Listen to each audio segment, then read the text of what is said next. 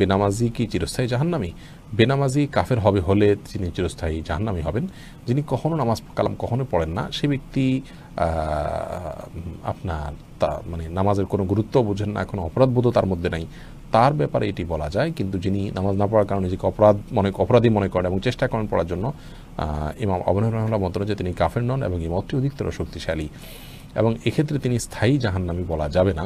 যদি তিনি মাঝে মধ্যে পড়েন, মাঝে মধ্যে পড়েন না বা গুরুত্ব বুঝেন কিন্তু অবহেলা করেন এবং তার অপরাধ বোধও আছে সেজন্য, তাহলে তিনি স্থায়ী জাহান্নামী হবেন না। কিন্তু এর কারণে অবশ্যই তিনি জাহান্নামে যেতে হতে পারে যদি তিনি সালাদ ত্যাগ করেন চাকরিত। রাকিব হৃদয় আইডি থেকে আপনি লিখেছেন, টুপি পরে নামাজ পড়লে কি সব বেশি হয়? না, এমন কোনো কথা নাই যে টুপি পড়লে নামাজ পড়লে নামাজ পড়লে সব বেশি হবে। এমডি জুজি লিমন, এই আইডি থেকে আপনি জানতে চেয়েছেন, ফরজ গোসল অবস্থায় কোনো কাপড় ধরতে বা নাপাক কাপড় পরিষ্কার করতে, করে শুকাতে দিতে পারব কি?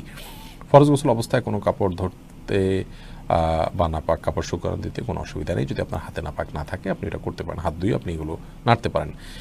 এইচ আকাশ, আপনি লিখেছেন, স্বামীর অবাধ্য স্ত্রীকে নিয়ে সংসার করা যাবে কি? এটা একান্ত স্বামীর ব্যাপার। তিনি যদি করতে চান তাকে নিষেধ করেন না। ফাতেমা ফারুক লিখেছেন হাইজ ও নেফাস অবস্থায় কি আমলের মধ্যে, কীভাবে আমলের মধ্যে থাকব? এ বিষয়ে আমাদের একটা ভিডিও আছে, দেখবেন। সব আমলই করতে পারবেন, নামাজ পড়বেন না তফ করবেন না, এবং নির্দিষ্ট যে কয়েকটা নিষেধাজ্ঞা আছে, সেগুলো ছাড়া যে কোনো আমল আপনি করতে পারবেন। ভাই আরিফ লিখেছেন, লাইভ চলাকালীন অনেকে আপনাকে করা প্রশ্নের উত্তর দেয়। আমার মনে হয় তাদেরকে নিষেধ করে দেওয়া উচিত, কারণ তাদের উত্তর দেওয়ার যোগ্যতা আছে কিনা তা নিশ্চিত নয়। খুবই চমৎকার বলেছেন ভাই আরিফ, এবং এটা আমরা বারবার বলেছি। আমাদের পেজে যারা প্রশ্ন করে থাকেন, সাধারণ দর্শকরা, তাদের প্রশ্নের রিপ্লাইতে কেউ কোনো লিঙ্ক ধরিয়ে দিলে নিজে থেকে, কিংবা নিজে থেকে সেটার জবাব দিলে সেটা আমাদের এই পেজের যে নিয়ম আছে, যে নীতি আছে, সেটা লঙ্ঘন করা হয়। এ ধরনের ব্যক্তিদেরকে আমরা প্রাথমিকভাবে নিষেধ করি, এরপরে তিনি বারবার একই কাজ করলে তাকে আমরা ব্যান করে থাকি। কেউ যদি এর জন্য নিজেকে উপযুক্ত মনে করেন, তাহলে তিনি আমাদের সাথে যোগাযোগ করবেন, তাকে আমরা পর্যবেক্ষণ করব, তাহলে তার মাধ্যমে আমরা এটি করতে পারি। কিন্তু র্যান্ডমলি মানুষের উত্তর দিয়ে যাওয়া, এটার জন্য আমরা কাউকে অনুমতি দিইনি। আমাদের পেজের তরফ ছাড়া, তরফ থেকে ছাড়া আর কেউ প্রশ্নের উত্তর দিবেন না। যদি কেউ দেন তাহলে সেটি তিনি পেজের নিয়ম, নীতি লঙ্ঘন করছেন। বারবার আমরা এটি নিষেধ করছি।